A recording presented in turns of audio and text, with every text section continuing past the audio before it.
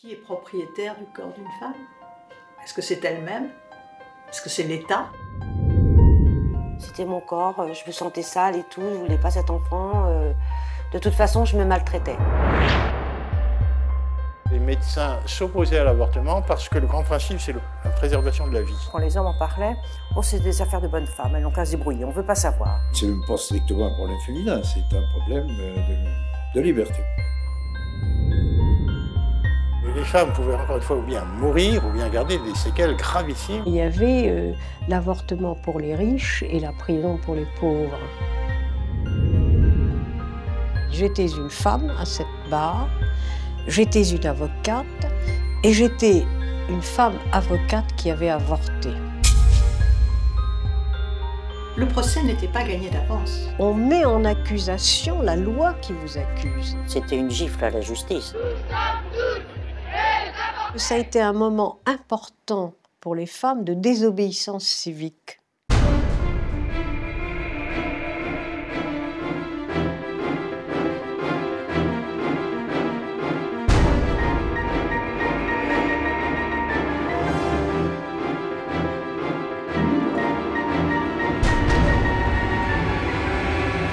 Marie-Claire a tout juste 16 ans quand elle tombe enceinte.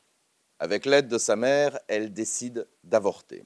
Nous sommes en 1971 et à cette époque, l'avortement est un délit. La mère et la fille vont être toutes les deux jugées devant le tribunal de grande instance de Bobigny. C'est l'avocate Gisèle Halimi qui accepte d'assurer leur défense. Et avec l'accord des deux prévenus, elle va tenter de faire voler en éclats la loi de 1920 qui sanctionne alors l'avortement. Le drame de ces deux femmes va provoquer un immense débat dans l'opinion publique, mobilisé aux côtés des inculpés, des professeurs de médecine, des prix Nobel et des comédiennes connues. C'est irréversible. Avec ce procès, une page douloureuse de l'histoire se tourne lentement.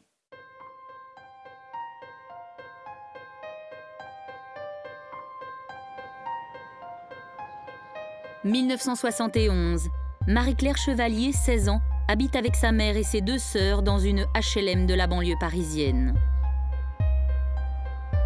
La mère de Marie-Claire, Michel, est célibataire. Elle élève seule ses trois filles avec son modeste salaire d'employée de la RATP.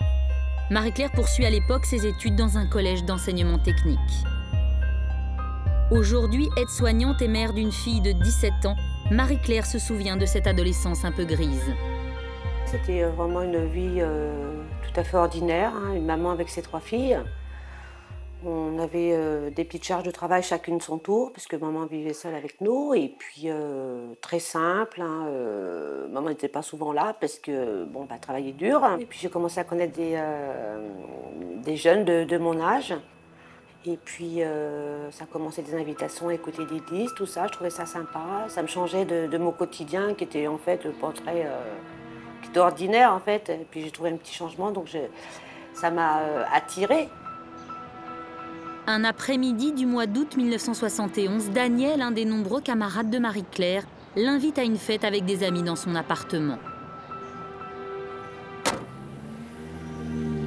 En fin de compte, ça s'est pas du tout passé comme ça. Il disait euh, que ses amis allaient arriver, tout ça, qu'on allait écouter de la musique, et puis en fait, c'était pas du tout ça. Daniel a en effet d'autres projets pour Marie-Claire. Très vite, la jeune femme se méfie, le ton monte et le jeune homme lui dévoile ses véritables intentions. Il m'a enfermée, il m'a dit voilà, faut que tu te laisses faire, sinon je vais te crever les yeux.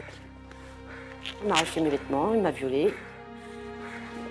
Je suis un peu gênée maintenant de, dire ça, mais c'est vrai qu'à l'époque, j'avais jamais vu ça que un homme. Et c'était vraiment quelque chose de traumatisant. euh, j'ai hurlé, j'ai, euh, c'était, euh, c'était la pire des choses, j'ai cru que j'étais en train de mourir. J'avais mal partout, euh, surtout à l'endroit euh, auquel on pense. Et puis, bah, je me suis sauvée comme j'ai pu. J'ai pu m'habiller dans une cage d'escalier. Pour, Et puis, je suis rentrée chez moi, chez ma mère. Puis, j'ai caché tout ça. En 1970, le droit français ne considère pas encore le viol comme un crime.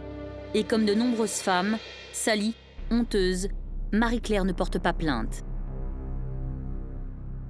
J'ai caché ce viol, euh, mais ça a été des, cauchemars, euh, des cauchemars horribles, surtout à l'école, tout ça. Je, pensais qu'à ça. J'ai, je ne savais plus écrire, je savais plus lire, je ne savais plus rien faire. C'était le traumatisme, le, le, trou noir et tout. Puis moi, j'étais persuadée que c'était de ma faute de toute manière. Puis après, ben, euh, je me suis rendu compte que j'avais plus mes règles, que j'allais tomber enceinte. Donc je suis tombée enceinte et euh, je, voulais, euh, je voulais mourir. Marie-Claire est méconnaissable. Étouffée par la culpabilité, elle plonge dès lors dans un mutisme total. Michel Chevalier, sa mère, s'en inquiète. Maman, étant donné qu'elle avait trois filles, qu'elle avait l'habitude de, savoir bon, quand, etc., on avait d'oral et tout, et euh, elle avait bien vu qu'il y a des choses qui n'allaient pas chez moi et tout. Et puis, euh, bah, je lui ai raconté. Et là, j'ai vu dans ses yeux euh, beaucoup de tristesse. Et je, pense avoir vu aussi dans ses yeux un échec.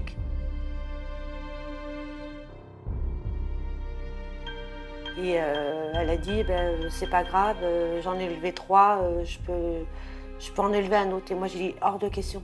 Je veux pas le garder. Je me tapais dans le ventre et tout. Euh, je me faisais mal exprès. Je me haïssais. Je haïssais ce que j'avais en moi. Je me serais, euh, je tuée.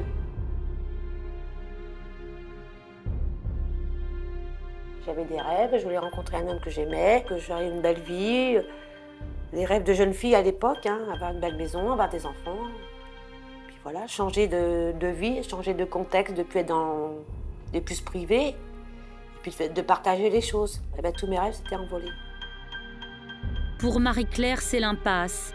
Être fille-mère dans les années 70, c'est sans doute sceller un destin de misère.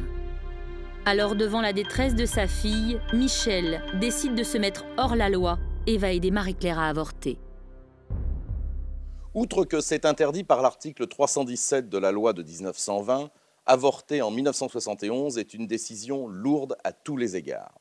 À cette époque, le Code de procédure pénale sanctionne les faiseuses d'anges à des peines pouvant aller de 1 à 5 ans de prison ferme et de 6 mois à 2 ans pour celles qui avortent. Malgré la rigidité de la loi, 300 000 femmes avortent chaque année. Encore une fois, la justice fonctionne à deux vitesses. Celles qui en ont les moyens vont à l'étranger, dans des cliniques privées où l'avortement est une pratique licite, comme la Suisse ou l'Angleterre.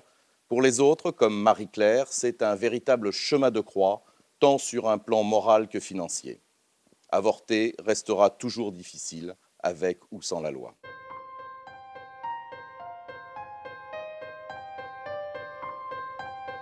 Dans les années 50, l'hypocrisie de cette loi sur l'avortement n'échappe à personne.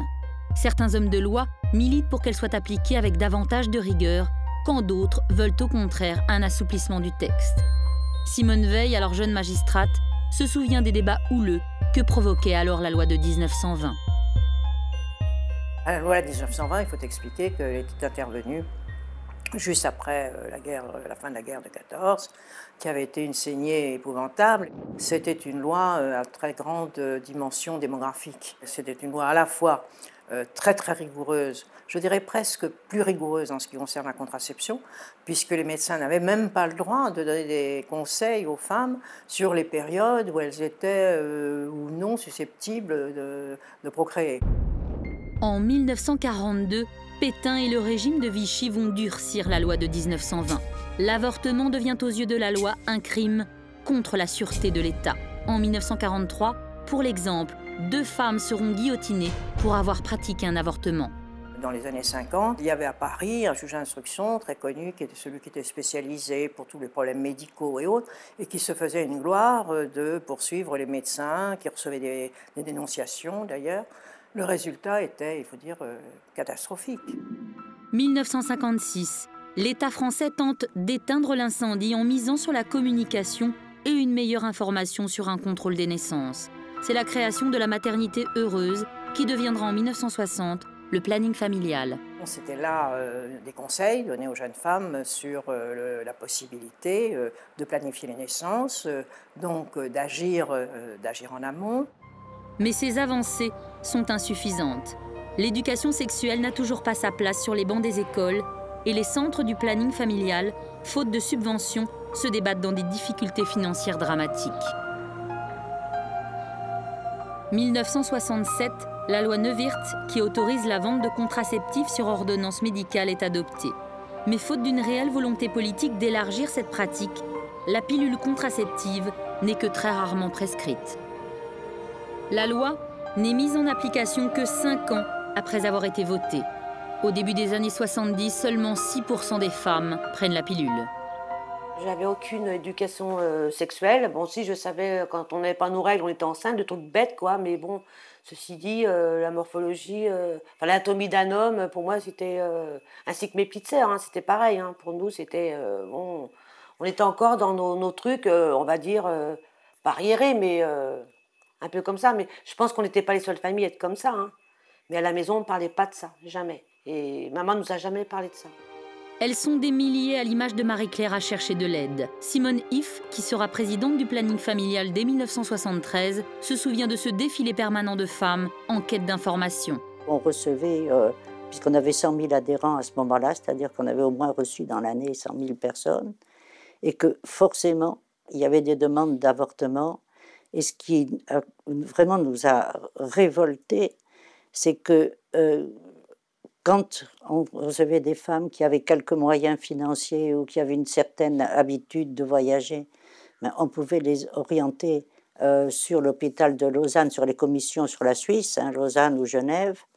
Euh, on était allé chercher, on avait on commencé à avoir quelques adresses en Angleterre, mais quand on recevait une femme qui n'avait aucun moyen financier, qui n'était jamais sortie de France, qui n'avait pas de passeport, eh ben, on était obligé de lui dire, écoutez, euh, désormais vous aurez la contraception, et donc on savait parfaitement qu'elle allait avoir à faire un avortement clandestin. Face à cette loi injuste, de plus en plus de voix s'élèvent, des voix de femmes essentiellement, des femmes qui décident de sortir de la clandestinité. Gisèle Halimi est l'une d'entre elles. Avocate, elle s'est illustrée dans les années 60 pour avoir défendu une femme victime de viol. En avril 1971, aux côtés de Simone de Beauvoir, Gisèle Halimi va dénoncer l'hypocrisie et l'injustice qui entourent l'avortement en signant le manifeste des 343. Nous, euh, nous c'est-à-dire les salopes, comme on nous appelait, nous avions défrayé la chronique en, signant ce manifeste des 343 femmes qui déclaraient avoir avorté et qui réclamaient l'abolition de la loi répressive, euh, l'accession à tout ce qui était contraception, éducation sexuelle et le droit, le droit à l'avortement dans une loi, une nouvelle loi. Voilà ce que nous voulions. J'avais eu beaucoup de signatures, il n'y en a pas eu que 343, il y a eu les 343 dont on disait les intouchables, Catherine Deneuve, Marguerite Duras, Delphine Séric, Simone de Beauvoir, euh, François Sagan, que sais-je, Nadine Trintignant, etc. Et donc on, on s'est dit, moi je me suis dit, ça suffit pas, il faut étendre le mouvement. Le retentissement du manifeste des 343 est tel que Gisèle Halimi est assaillie de lettres et de coups de téléphone de la part de milliers de femmes anonymes qui se reconnaissent dans sa démarche. C'est pour leur donner la parole qu'elle fonde en juillet 1971 avec Simone de Beauvoir l'association Choisir. Claude Servan-Schreiber, journaliste, se souvient de l'impact causé par la diffusion du manifeste des 343. La position de, l'opinion publique euh, sur euh, l'avortement sur ce qu'on a commencé à appeler l'interruption de grossesse, euh, a évolué très rapidement entre la fin des années 60 et le début des années 70. Le problème de la contraception, qui en France était à ce moment-là extrêmement aigu, puisque toute contraception a été interdite jusqu'en 1967, les médecins euh, qui euh, donnaient des conseils en matière de, contraception étaient poursuivis, donc la plupart ne, le faisaient pas. Euh, avait cette question de la contraception euh, laissé de côté la question de l'avortement. Et c'est sous euh, l'influence du mouvement des femmes et de la dimension internationale du mouvement des femmes, parce que la même chose se passait à ce moment-là aux États-Unis, en Allemagne, en Scandinavie et en Angleterre, par exemple, que la question de l'avortement, de l'interruption de grossesse a commencé de se poser. Et à partir de 1971, à partir du manifeste, la question est vraiment posée euh, sur la place publique. Grâce à la presse et aux associations, le débat qui entoure l'avortement a dépassé le cadre des mouvements féministes. L'hypocrisie de la loi de 1920 apparaît au grand jour, on a réveillé les consciences. Dorénavant, il est impossible de dire je ne savais pas. Malgré tout, le poids des religions, la rigueur de la société française, les problèmes de conscience que pose l'interruption volontaire de grossesse sont tels que dans les faits, rien ne change. En 1971, 66% des Français interrogés sont pour la révision de la loi de 1920, mais seulement 25% sont pour l'avortement libre. Avorter reste donc à l'époque un acte honteux qu'il faut cacher à la société.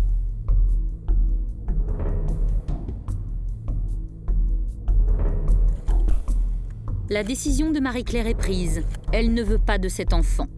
Devant le désarroi de sa fille, Michel, sa mère, se met en quête d'un gynécologue. Ils sont quelques-uns à l'époque, moyennant finance, à avorter des femmes après la fermeture de leur cabinet. Michel se rend chez l'un d'entre eux, mais il lui réclame 4500 francs de l'époque, l'équivalent de plus de trois mois de son salaire. C'est l'impasse, il faut trouver de l'argent et vite. En désespoir de cause, Marie-Claire se tourne vers le géniteur de l'enfant, son violeur, elle lui révèle sa grossesse non désirée et son intention de braver la loi en avortant. Je lui dis que, qu'il m'avait violée, que je suis tombée enceinte et que de toute façon, euh, ça n'allait pas se passer comme ça. Et euh, il a dit que de toute façon, c'était moi qui l'avais cherché et que si jamais euh, je, je l'accusais de quoi que ce soit, bah, il tuerait ma mère, il nous tuerait. Michel Chevalier n'a donc plus le choix. Elle est obligée pour faire avorter Marie-Claire d'avoir recours à ce que l'on appelle à l'époque une faiseuse d'ange. Elle se confie à des collègues qui lui fournissent sous le manteau le nom d'une avorteuse. Moi, ça, c'est quand même une chose qui, m'a beaucoup touchée, ce réseau de solidarité de femmes, de, femmes qui se repassent les adresses, qui, qui savaient qu'elles risquaient, et, et, ça fait rien. Et, et ça, c'est très fort, je pense. Par pitié, et aussi pour 1200 francs, l'avorteuse accepte de s'occuper de l'opération de Marie-Claire. Et ça représentait euh, pratiquement un mois de salaire. Et euh, maman était prête à tout euh, pour, sa fille.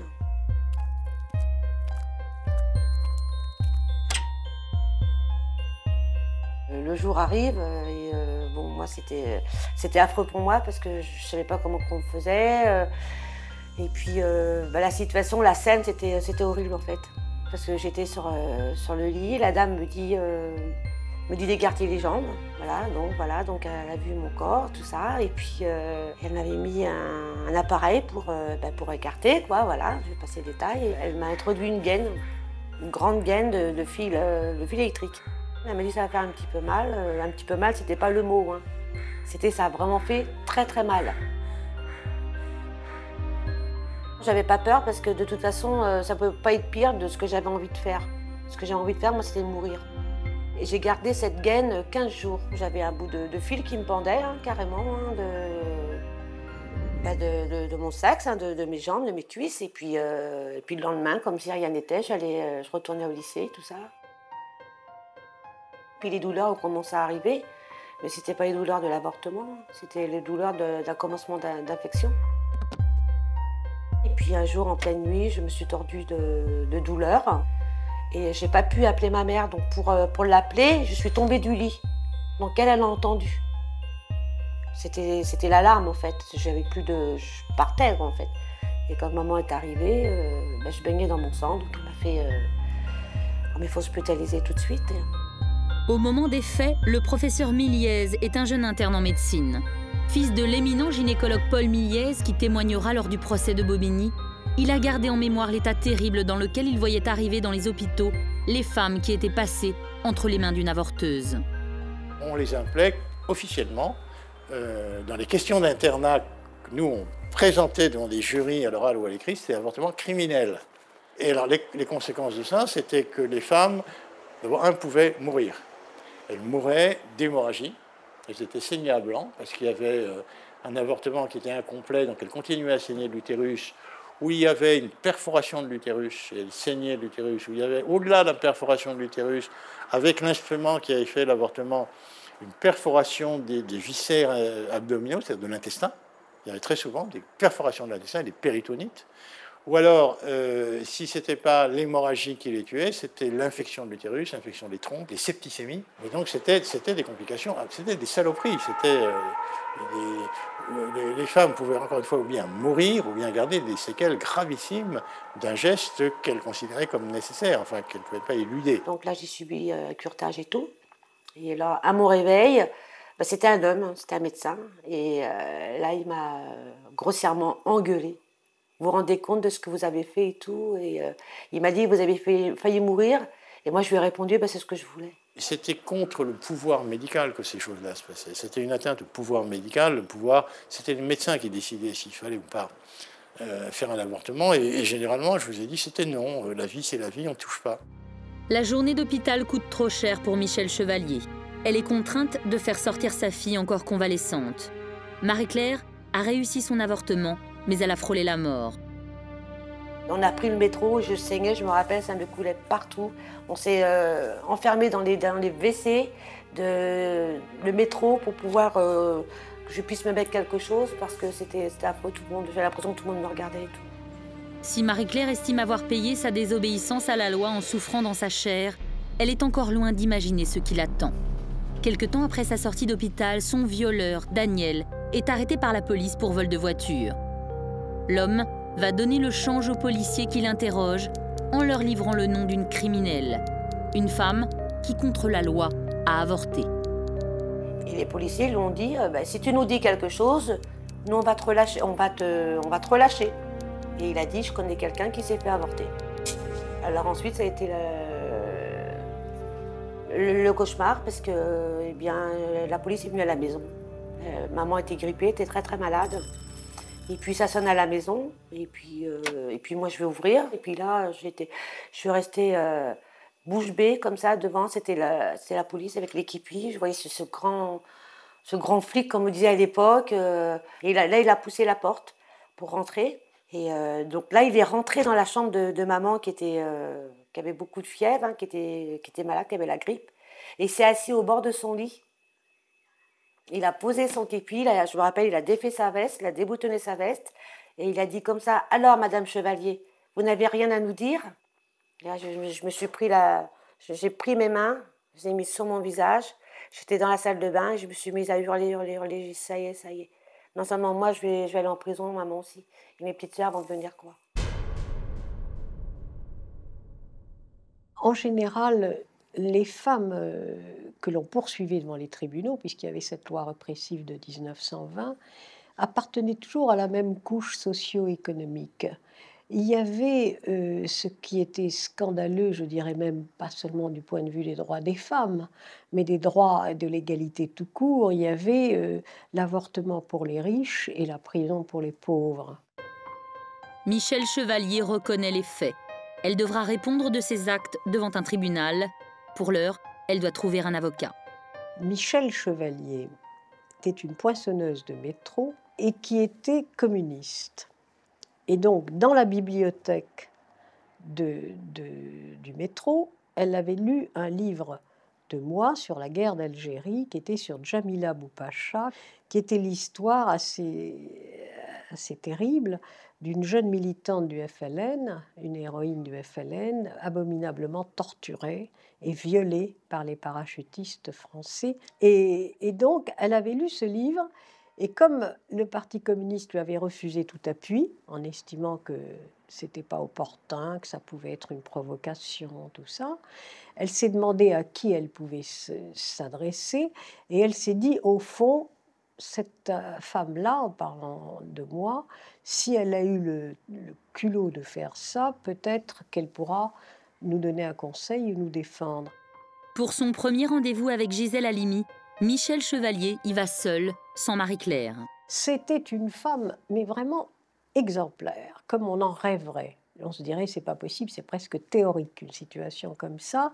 Elle était courageuse, elle, elle ne se donnait toute sa vie, c'était ses trois filles, elle ne s'occupait de ses trois filles, elle avait très peu de moyens, mais tout était clair comme le jour. Et elle était extrêmement, elle m'a semblé, euh, Michel, comme ça, avec ça, elle avait un débit comme ça, mais tout ça, c'est pas juste. Euh, euh, mais je vois pas pourquoi c'est nous, c'est toujours nous qui payons. alors c'était peut-être sa formation politique, mais c'était, elle avait aussi des accents de femme. Comment on peut obliger une femme hein, On la traîne en prison alors qu'elle a été violée? C'est comme ça que j'apprends que Marie-Claire avait été violée par son ex-ami. Et au fur et à mesure que je l'entendais, je posais des questions sur sa vie, tout ça, car je voulais m'assurer que c'était véritablement des données sur lesquelles aucun ennemi ne nous ferait perdre. Parce que c'est comme ça quelquefois qu'on perd des batailles, pas sur l'essentiel, mais sur tout ce qui est collatéral. Et à ce moment-là, on plonge.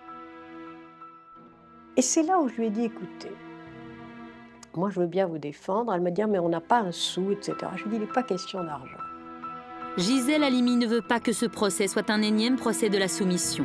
Elle va alors proposer à Michel Chevalier de la défendre à la condition qu'elle ne se présente pas au tribunal comme une coupable, mais plutôt comme la victime d'une loi injuste qui pousse à la criminalité. On met en accusation la loi qui vous accuse. Et c'est ça, ça a été, si vous voulez, le, centre euh, même de ce procès. Je dis qu'on fait donc un grand procès en, en, faisant en sorte de changer cette loi pour que les autres femmes bénéficient de ça. Elle m'a dit oui, moi je suis tout à fait d'accord. Oui, oui, je suis d'accord, il faut que j'en parle à Marie-Claire, je reviendrai avec Marie-Claire. Quand on l'a frappé, euh, on est tombé sur euh, Gilles qui, qui, nous attendait puisque nous, avions, nous avions rendez-vous. Et je l'ai regardée, je me suis dit, elle est belle. Ça, je me suis dit, je me elle est belle. Euh, et puis j'ai pensé dans ma tête euh, d'adolescente, j'ai dit, de toute façon, c'est obligé, c'est obligé, elle va me sauver. Elle va me sauver, puis elle va sauver maman, parce que sinon, euh, qu'est-ce qu'on va devenir? Alors, elle m'est apparue comme très lucide, Marie-Claire, et aussi déterminée. Alors, j'aurais dit, on peut faire ça, mais dans ce cas-là, euh, on ne demande pas pardon. Elle m'a dit, ah, jamais de la vie, demander pardon, c'est la loi qui est coupable. Et elle disait tous les mots que j'attendais moi-même pour en faire en, quelque sorte les, têtes de chapitre d'une plaidoirie euh, éventuelle. Alors elle me dit ah ben non, c'est pas moi qui suis coupable, c'est la loi. Et Marie-Claire me dit euh, qu'est-ce que je risque? J'ai dit ou le maximum? Ou la liberté? Et la liberté avec un débouché formidable sur une loi qui devient caduque et pour les femmes une avancée extraordinaire.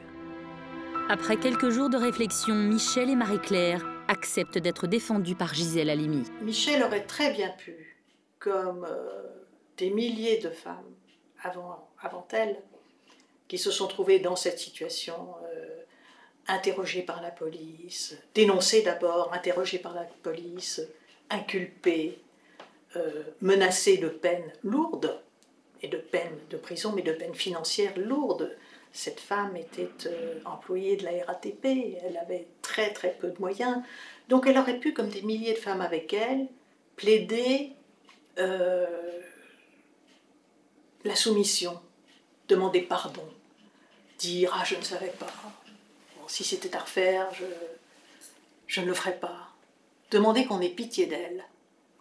Et Michel Chevalier, très courageusement, a pris la décision exactement opposée.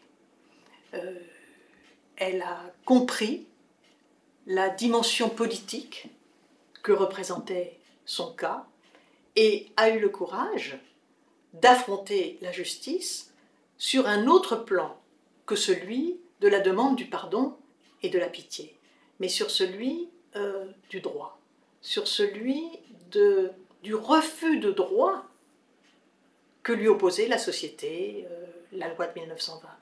Et c'était très très courageux. C'était très très courageux. Au travers de ce procès, Gisèle Halimi et Michel Chevalier s'attaquent à la loi de 1920.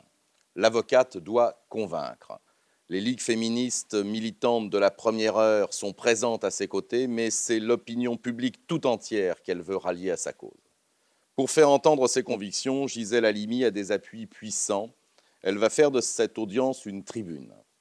À la barre des témoins se succèdent les notoriétés, les personnalités respectables et respectées, des intouchables, des prix Nobel de médecine, des politiciens, des comédiennes célèbres, pour donner à ce procès toute la dimension que ce débat mérite.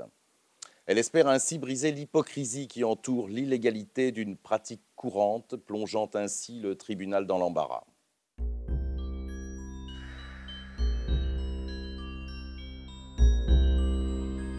Dans les bureaux de l'association Choisir, Gisèle Halimi et son équipe travaillent à la préparation du procès. Dans ce débat qui agite la société française, les plus farouches ennemis de l'interruption de grossesse sont l'Église et les ligues anti-avortement qui tentent de convaincre l'opinion publique que l'avortement est un crime, arguant que le fœtus est un être vivant. Gisèle Halimi sait que ces arguments peuvent faire basculer le procès. Elle contacte donc les deux premiers prix Nobel de médecine que la France a connus depuis la fin de la Deuxième Guerre mondiale, Jacques Monod et François Jacob. Deux hommes dont l'intégrité et l'intelligence font l'unanimité. Je me suis dit, euh, il y a deux prix Nobel, Monod et Jacob, qui venaient de prix Nobel, que je ne connaissais pas du tout d'ailleurs.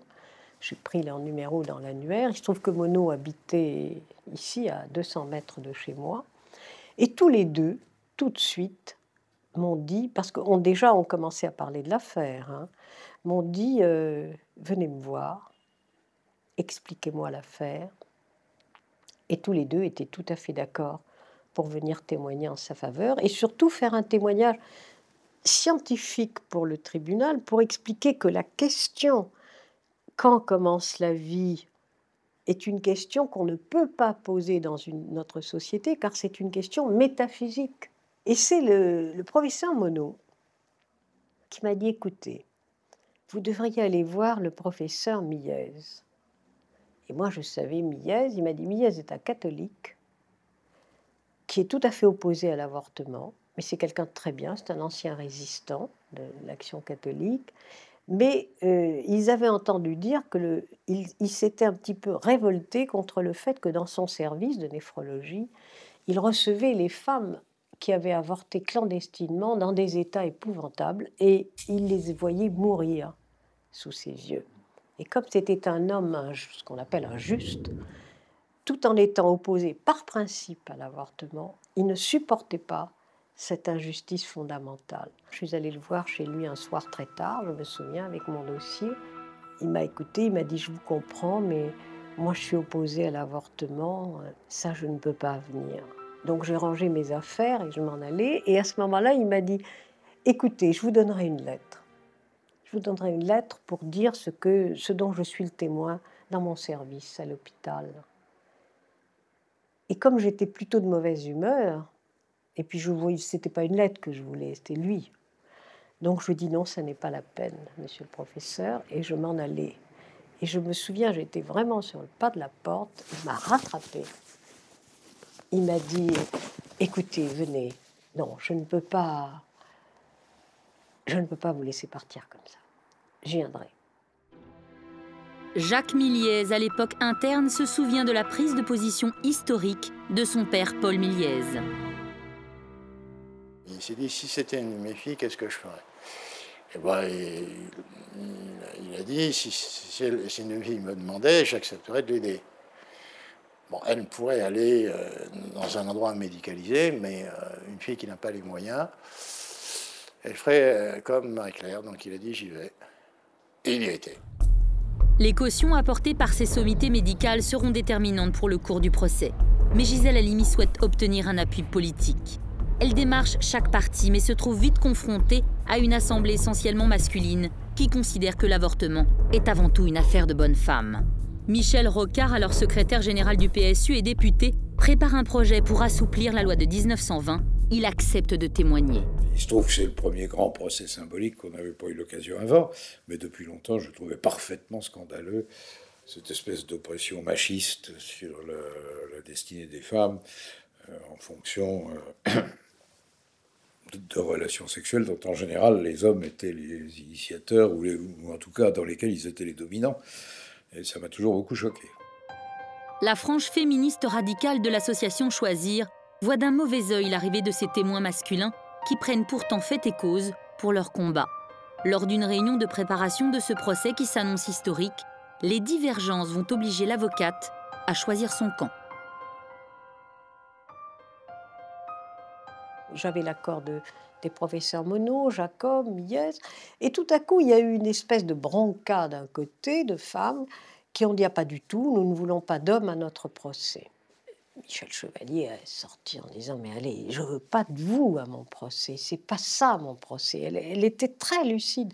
C'est pas pour vous que je me bats, c'est pas nous ça, c'est pas ça. Et à ce moment-là, il y a eu une vraie révolte, une vraie pagaille, et, c'était Simone de Beauvoir qui présidait. Et Simone de Beauvoir a dit bah écoutez, puisque c'est comme ça, on va voter. Et nous, nous, je dis euh, Michel Chevalier et les autres inculpés sont mis en minorité. Le mouvement qui l'emporte, c'était pas d'hommes, et même pas Simone de Beauvoir d'ailleurs, parce qu'elle ne voulait pas de femmes célèbres.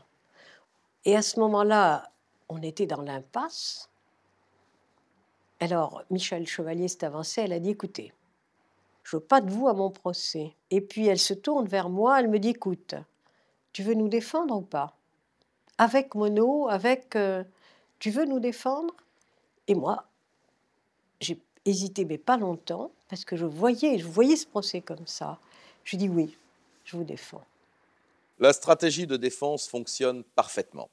Gisèle Halimi a obtenu tous les appuis qu'elle souhaitait. Jean Rostand, Françoise Fabian, Delphine Seyrig et la journaliste Claude Servan-Schreiber vont venir renforcer la liste aussi longue que prestigieuse des témoins de la défense.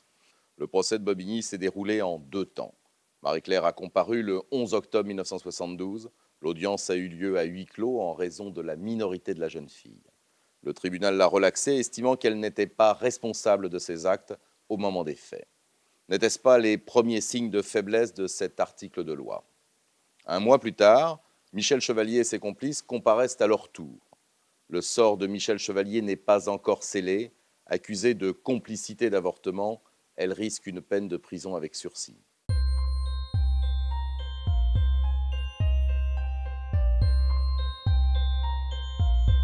Le 8 novembre 1972, c'est l'ouverture du procès de Michel Chevalier au tribunal de Bobigny.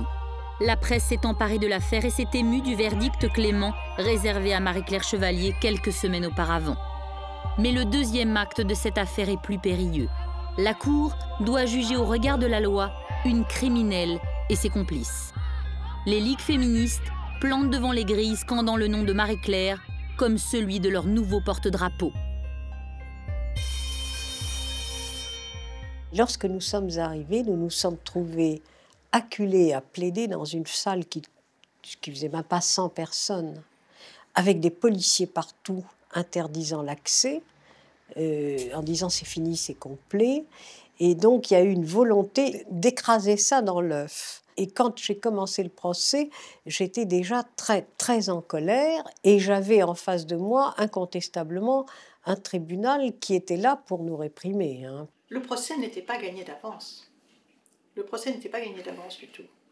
La mise en accusation de Marie-Claire et de Michel Chevalier euh, se fait à un moment où on sait déjà que les femmes qui ont signé le manifeste de l'Observateur n'ont pas été inquiétées. Il y a donc encore de poids et de mesure. On ne savait pas du tout à l'époque pendant combien de temps encore les parquets allaient poursuivre, pendant combien de temps encore les gendarmes allaient venir arrêter chez elles des femmes qui avaient avorté ou des femmes qui avaient procuré l'avortement? Donc c'est moins noir et blanc sur le moment que, que ça ne paraît aujourd'hui.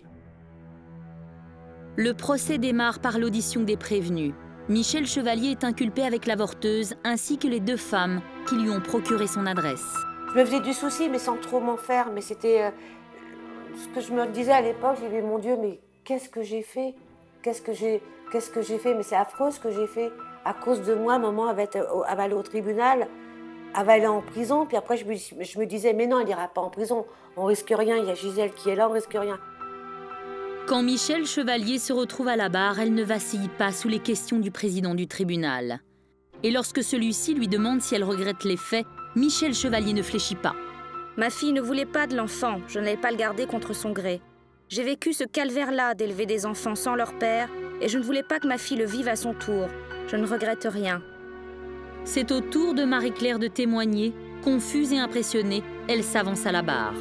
J'ai raconté encore ce... de toutes les soirs. Euh, je l'ai raconté devant des hommes qui n'ont pas peut-être forcément compris. Pour eux, c'était le délit, donc un délit, ça doit être puni. Et euh, je me souviens simplement d'une phrase qu'il a dit pour, euh, pour terminer. Est-ce que vous regrettez ce que vous avez fait? Et là, je, suis bien droite. J'ai dit non, je ne regrette pas. Si c'était à refaire, je recommencerai. Et là, après, il y a eu les applaudissements, tout ça. Gisèle était très fière de moi. Pendant ce temps, à l'extérieur du tribunal, des centaines de militantes chantent dans le froid La Suisse pour les riches, les assises pour les pauvres. Gisèle Halimi va dès lors s'efforcer de démontrer le caractère profondément injuste de la loi de 1920. Elle appelle successivement à venir témoigner Simone If, la présidente du planning familial, Françoise Fabian, Delphine Seyrig et Claude Servan-Schreiber. Toutes ces femmes vont avouer publiquement avoir avorté dans la plus totale impunité. On devait m'arrêter. Je, dis oui, je dis oui. Et plus, moi, c'était vrai. Il y en a qui avaient avorté. Le président est furieux parce qu'il sait très bien ce que ça veut dire quand on se déclare devant un tribunal pour une action illégale, un crime, c'était, hein, dans le 317 du Code pénal. On devrait être arrêté. Moi, j'étais persuadée qu'il y avait que moi qui avait fait ça. Et le, fait de savoir, d'entendre des femmes bien qui avaient fait, ce, qui avaient fait euh, des avortements, ben, je me suis dit, ben, euh, il n'y a pas que moi alors. Quand Claude Servan-Schreiber, la journaliste, s'apprête elle aussi à raconter l'histoire de son avortement clandestin, le juge, agacé par les précédents témoignages, tente de l'en empêcher. Il y a certaines limites qu'il faut respecter pour nous éviter d'entendre des explications qui débordent vraiment très largement du cas présent. Le président euh, n'était pas du tout, du tout content euh, qu'un certain nombre de témoins, je dois dire la majorité de témoins euh, cités, soient des gens connus et qui n'avaient pas un rapport direct avec l'affaire. Et il avait tenté d'obtenir que les avocates ne puissent pas présenter autant de témoins. Mais il avait euh, tout de même euh, une technique qui euh, consistait à bousculer les témoins, sinon pour les empêcher de parler, du moins pour leur, faire, leur laisser dire le moins de choses possible. Donc on n'avait pas sitôt ouvert la bouche qu'il commençait à agiter les mains en disant plus vite, plus vite, plus vite. C'était une gifle à la justice, hein, cette stratégie euh, de dire euh, et, de, montrer euh, l'incohérence. Hein, quand après le, président du tribunal traitait ça devant une salle pleine, des cris à l'extérieur, c'était une honte de la justice. Nous nous battons pour faire changer un dispositif législatif et en l'espèce très précisément une loi qui a encore un consensus majoritaire chez les dominants mâles de droite. Et il est clair que la culture du président du tribunal n'était pas de nature à lui rendre ça facile. Euh, elle n'était même pas de nature à lui permettre de comprendre que nous défendions là une liberté. C'était des hommes qui étaient totalement en dehors de ces problèmes, qui ne savaient pas peut-être pas comment on a couché, comment on a avorté, puisque quand ils ont interrogé l'avorteuse, le président lui demande comment il a, elle a fait. Elle dit ben, J'ai examiné Marie-Claire, etc. Vous l'avez examiné comment? Eh bien, je lui ai mis un spéculum. Et le président a dit Vous lui avez mis dans la bouche? C'est à ce moment-là que j'éclate, moi. Ça a été donc très. Il y a eu beaucoup d'incidents. Hein. J'ai éclaté, je me suis amenée, je lui ai dit, mais regardez-vous et regardez-nous. Quatre femmes comparaissent devant quatre hommes pour parler de quoi? De leur grossesse, de leur utérus, de spéculum. Est-ce que vous trouvez ça juste? Est-ce que vous trouvez que c'est un ordre normal? J'ai éclaté comme ça devant l'ignorance, euh, je dirais la sottise, la sottise habillée juridiquement, mais la sottise quand même de ce tribunal. Les efforts du président du tribunal pour circonscrire les débats aux faits n'entament pas la combativité de Gisèle Halimi et l'enthousiasme du public présent dans la salle. C'est maintenant au sommité médical de s'exprimer. Et c'est le prix Nobel de médecine Jacques Monod, un protestant pratiquant, qui va le premier prendre la parole. Il va tenter de convaincre les juges que l'avortement n'est pas un infanticide. Au fond, il a dit, il a dit les choses intelligentes qu'on voulait entendre. Il a dit euh, l'embryon est peut-être euh, investi d'emblée d'une euh, vertu surnaturelle, métaphysique, mais ça ne regarde pas la société, ça regarde les gens, ça ne regarde pas la loi. L'embryon, c'est un amas de cellules. Si les gens veulent y voir déjà une présence, une essence, ben, c'est leur droit. Mais la société n'a pas à tenir compte de ça. Nous sommes dans une société laïque et euh, la société n'a pas euh, injecté une, une, vision religieuse euh, des pratiques médicales. Moi, je donnais un autre repère qui était un repère juridique. Quand une femme sans avorter fait une fausse couche, un accident, eh bien, si elle fait une fausse couche avant 24 semaines, eh bien, on, ne, on ne déclare pas l'enfant. Il n'y a pas d'enfant mort-né. Donc, on considère qu'il n'y a pas de, de, naissance, il n'y a ni naissance ni, mort. C'est ensuite le professeur Miliez qui s'avance à la barre. Je suis, vous le savez, foncièrement hostile à l'avortement. Et je considère que l'avortement ne doit se produire que quand il n'y a pas d'autre possibilité pour la femme. Ça a été un moment formidable du procès parce qu'il a commencé par dire à quel point il était opposé à l'avortement à quel point il trouvait ça terrible. Enfin, c'était presque un témoignage à charge contre nous. Et moi, j'ai posé des questions à ce moment-là. Je lui ai dit, mais monsieur le professeur, si Marie-Claire était venue vous voir, est-ce que vous l'auriez avorté Là, je jouais un peu mon qui tout double. Et il a il était, il était très, je dois dire, tendu, parce que malheureux, parce que c'était quelque chose de fort pour lui comme euh, dilemme. Et il s'est dit là, il a dit oui, je l'aurais avorté. Il faisait partie de ces hommes qui, qui s'engageaient, qui prenaient position sur tous les sujets.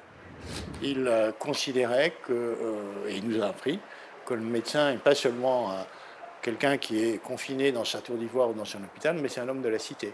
C'est comme ça qu'il concevait les choses.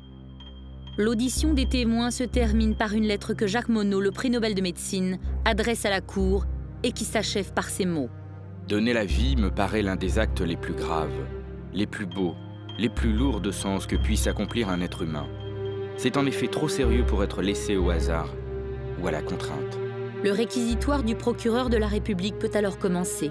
Il rappelle au cas où l'auditoire l'aurait oublié que le tribunal est là pour juger des faits et faire appliquer la loi. D'un point de vue strictement juridique, il était, dans son droit.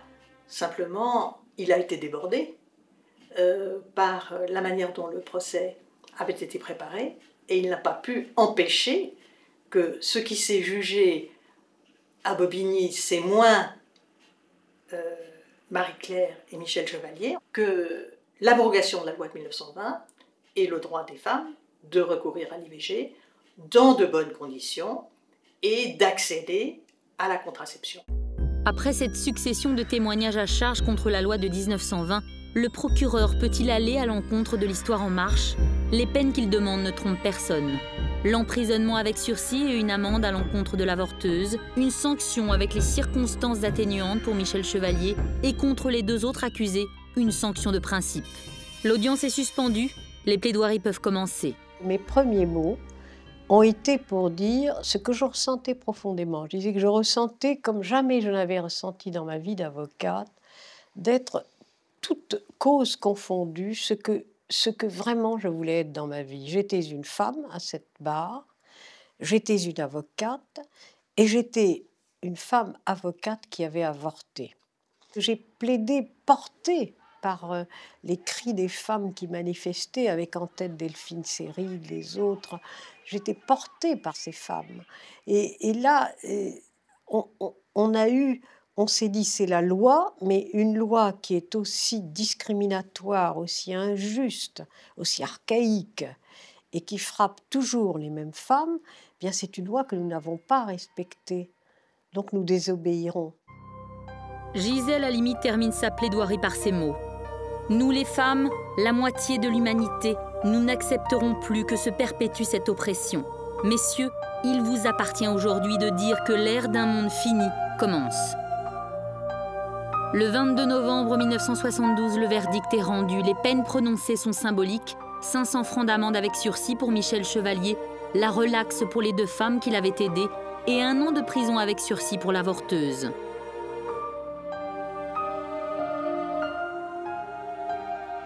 Nous ne nous sommes pas trompés. Les 500 francs hein, avec sursis, c'était une manière de ne pas perdre la face. Mais nous, avions, nous savions que nous avions commencé, à ce moment-là, nous savions que nous avions commencé à gagner. Moi, c'est le truc bête parce que moi, le verdict, j'avais pas trop compris ce que ça voulait dire. Et c'est euh, Gisèle qui m'a dit euh, T'es libre. Elle m'a bien dit Tu as gagné. Tu as gagné. Et après, elle a dit euh, On a gagné. Pensiez-vous être condamné ou pas? Ah, ben. Euh, j'espérais être laxée, mais enfin, euh, j'avais quand même très peur d'être condamnée. Ce que j'en pense, c'est que c'est formidable. Les juges ont enfin pris leurs responsabilités. Ils ont pris connaissance des lois, que c'était plus applicable. Madame Chevalier, c'est presque la relaxe. Oui, on a mené un grand pas, c'est sûr. Si vous aviez apporté un jugement, ce que vous venez de faire avec votre fille, est-ce que vous recommenceriez? Bien sûr que je recommencerai. Je suis très heureuse pour moi, mais tout le monde en profitera. Nous continuerons. Pour toutes les femmes. Nous avons quand même fait appel pour le principe. Et euh, la justice s'est arrangée pour que l'appel ne soit jamais programmé, ce qui fait qu'au bout de trois ans, c'était caduque. Donc il n'y avait plus rien. Monsieur le Président, Mesdames, Messieurs les députés, deux ans après le procès de Bobigny, le 17 janvier 1975, est adoptée la loi relative à l'interruption volontaire de grossesse, plus connue sous le nom de la loi Veil. Elle autorise le recours à l'avortement libre et gratuit pour toutes les femmes et marque ainsi la fin de l'avortement clandestin. Et en pleine conscience de la gravité des responsabilités que nous allons assumer ensemble. À travers tout ça, on fait avancer, on fait avancer les, les femmes parce que lorsque vous avez une loi, je ne dis pas que tous les problèmes soient résolus, mais je dis que déjà le problème, il est plus restreint, c'est faire appliquer la loi. Tandis que quand vous avez rien, ou une loi répressive, il est absolument impossible d'avancer et on continue d'entasser, je dirais, des espèces de martyrs euh, dont nous ne voulons pas, car nous voulons au contraire, moi ce que je veux, c'est que les femmes ne se résignent jamais et qu'elles avancent. Après le procès de Bobigny, la reconstruction de Marie-Claire a été difficile. Elle vit aujourd'hui avec sa fille de 17 ans un enfant qu'elle a désiré et qu'elle élève seule. Pour les 30 ans de la loi Veil, la passerelle qui mène au tribunal de grande instance de Bobigny a été symboliquement baptisée Passerelle Marie-Claire. Comme une passerelle dans l'histoire pour que les femmes et les jeunes filles d'aujourd'hui gardent en mémoire la lutte de ces femmes célèbres et anonymes qui se sont battues pour que leurs filles puissent dire un jour ⁇ Mon corps m'appartient ⁇ et pour qu'elles n'oublient pas non plus qu'il existe encore aujourd'hui de trop nombreux pays en Europe et dans le reste du monde où le droit à l'avortement n'est toujours pas reconnu.